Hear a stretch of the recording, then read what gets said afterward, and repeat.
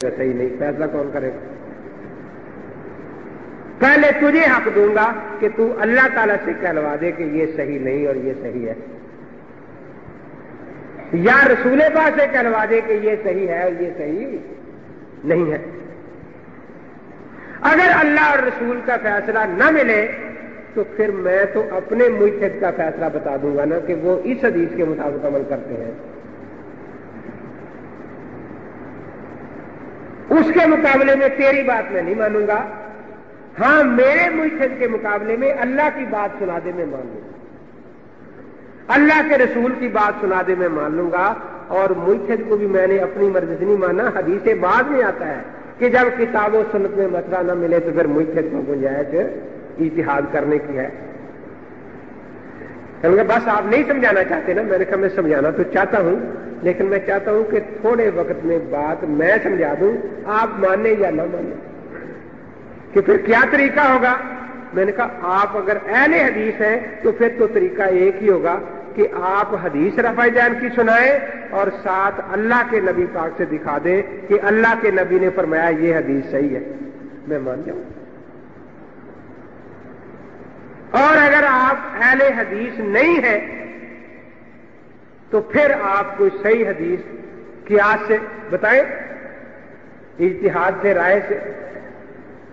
ایک پیمانہ تو بنا دے اور حدیث اس کے مطابق میں سنا دوں۔ اب اس نے شروع کی کہ حضرت وائل بن حجر رضی اللہ تعالیٰ عنہ حضور پاک کے صحابی ہیں۔ نو ہجری میں ایمان لائے۔ میں نے کہا، حدیث میں ہے کہ جی ہاں۔ آپ نے نو ہجری میں حضرت پاک کو رفع جین کرتے دیکھا۔ میں نے کہا، کہاں کہاں؟ کہتے رکو جاتے رکو سے سر اٹھاتے وقت۔ میں نے کہا، سجدے کے وقت نہیں۔ پھر آپ دس ہجری میں تشریف لائے۔ اور آپ نے حضرت پاک کو رفع جین کرتے دیکھا۔ میں نے کہا، کس کی جگہ؟ پھر رکو جاتے رکو سے سر اٹھاتے۔ میں سجدے میں کہ نہیں؟ دس ہجری تک رفع جین میں نے ثابت کر دی۔ گیارہ ہجری میں حضرت دو ماہ دس دن، گیارہ دن حیات رہے ہیں، اس میں آپ منسوخ ثابت کر دیں۔ میں نے پوچھا، حدیث صحیح ہے؟ بالکل صحیح ہے۔ وہ کوئی شک تو نہیں جی نہیں۔ اب میں نے بھی سوچا کہ اس نے جو حدیث سنائی ہے، یہ ابو داؤ شریف کی ہے۔ میں نے بھی ابو داؤ شریف سے بھی سنا دی۔ کہ حضرت عبداللہ بن مسعود رضی اللہ تعالیٰ عنہ، حضرت وائل تو مسافر صحابہ میں تھے نا، یہ شروع سے آخر تک حضرت کے ساتھ رہے ہیں۔ اللہ کے پیغمبر نے چار سندے ان کو دی ہیں۔ کتنی سندے فرمایا، قرآن سیکھنا ہے تو پہلے نمبر پر عبداللہ بن مسعود سے سیکھو۔ صحیح بخاری میں حدیث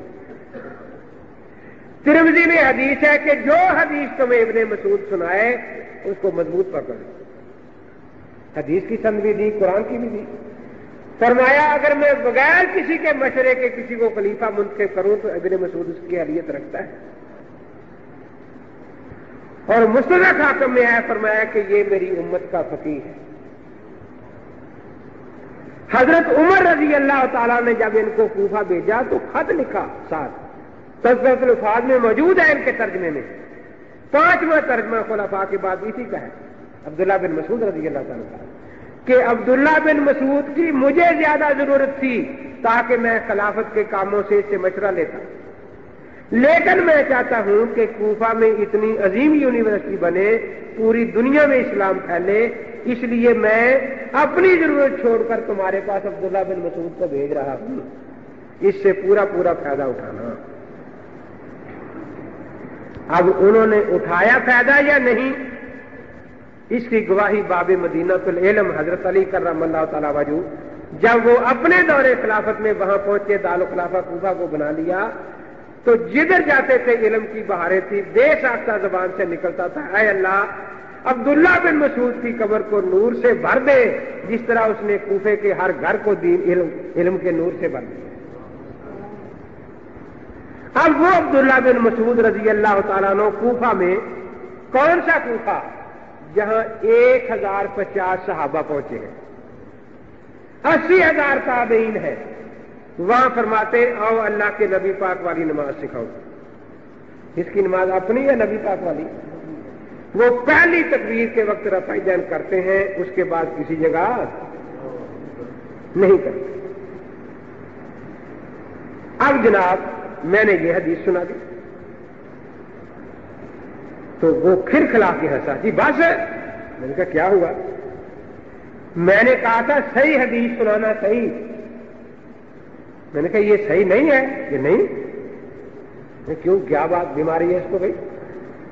اس کی سنت دیکھو نا، اس میں آسم بن کلیب ہے۔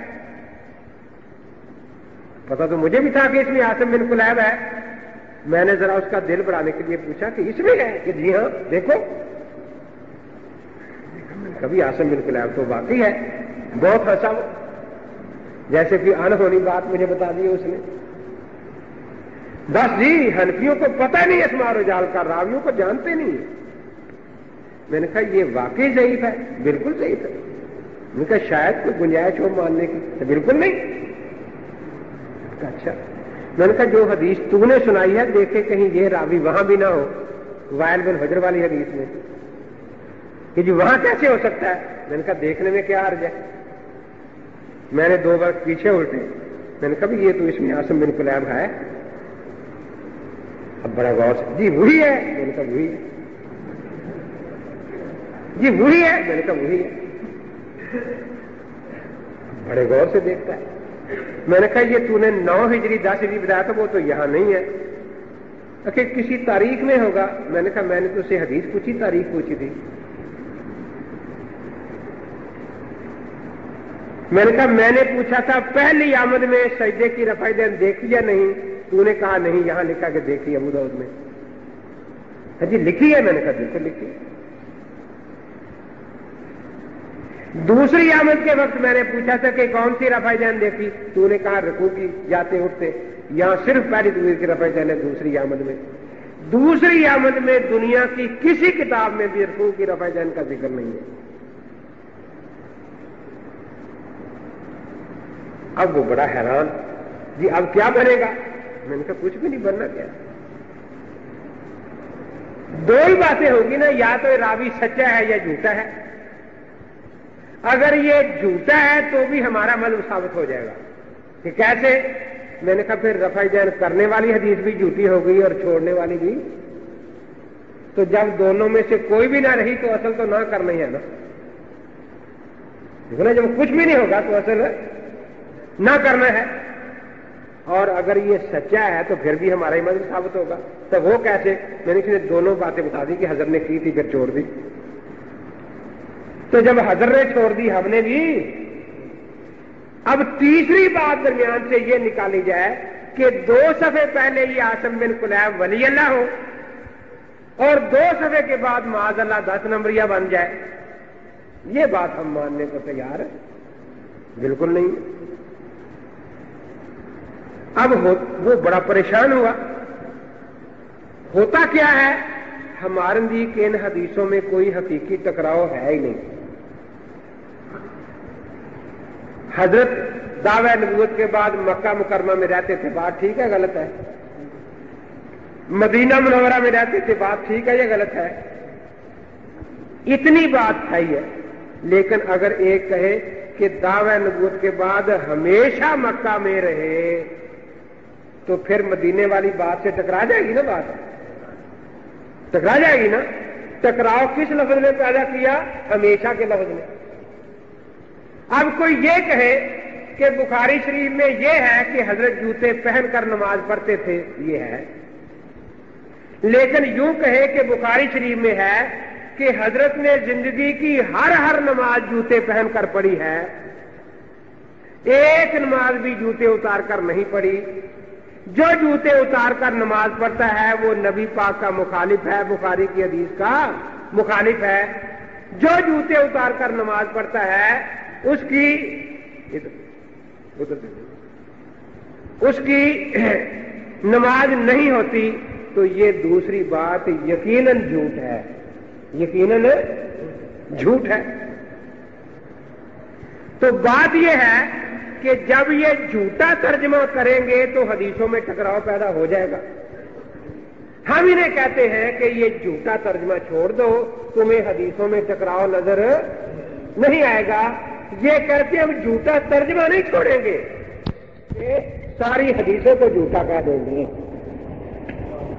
اب آپ جتنی حدیثیں پڑھیں گے، وہ حدیث کے خلاف نہیں، ان کے جھوٹے ترجمے کے خلاف ہے اب یہ اپنے جھوٹے ترجمے پر ضد کرتے ہوئے ساری حدیثوں کو جھوٹا کہتے ہیں، چلے جائیں گے۔ ہم کہتے ہیں کہ یہ دونوں باتیں گناہ ہے پہلی حدیث کا ترجمہ جھوٹا کرنا یہ بھی گناہ ہے اور دوسری حدیث کو جھوٹی کہنا یہ بھی گناہ ہے۔ جیسے میں نے مثال دی کہ ادھر بھی آسم بن کلاب ہے، ادھر بھی آسم بن کلاب۔ ہے اب وہ لڑکا بڑا پریشان ہوا، اس نے کہا جی ہمیں تو یہ لوگ بہت دھوکہ دیتے ہیں۔ میں نے کہا یہی تو بات ہے اور کیا میں سمجھا رہا ہوں آپ کو؟ تو اصل میں ہمیں ان حدیثوں میں ٹکراؤ ماننے کی ضرورت ہی نہیں پڑتی۔ اور یہ لوگ ٹکراؤ پیدا کرتے ہیں، غلط ترجمہ کرتے ہیں۔ جب غلط ترجمہ کرتے ہیں تو یقیناً دوسری حدیث سے ٹکراؤ پیدا ہو جاتا ہے۔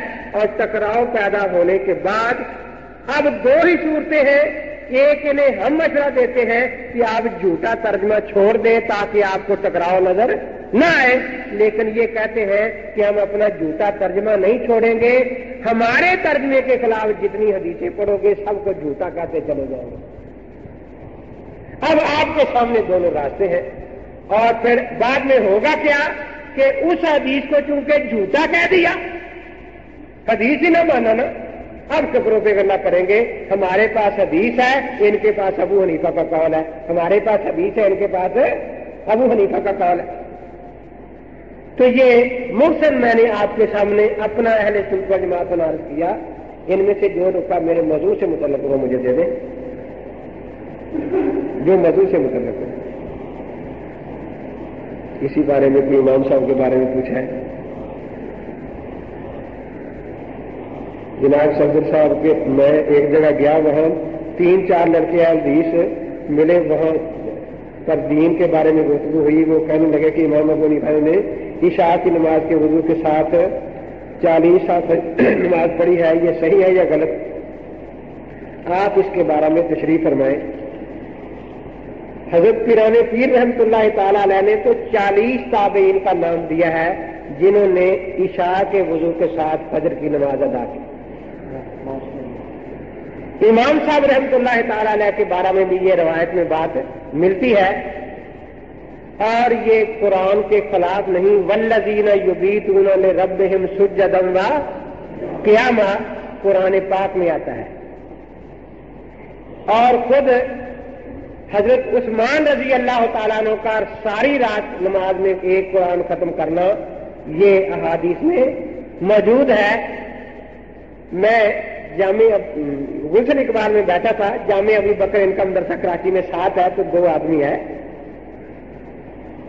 انہوں نے پوچھا کہ سنا امین آیا ہے؟ کہ جی ہاں آیا۔ ایک آدمی باہر بیٹھا جو مجھے لے کر گاڑی پر آیا تھا۔ کیونکہ ہم نے بات پوچھنی ہے تو کہا مجھ سے پوچھ لو۔ اگر مجھے نہ آئی پھر آگے چلے چلیں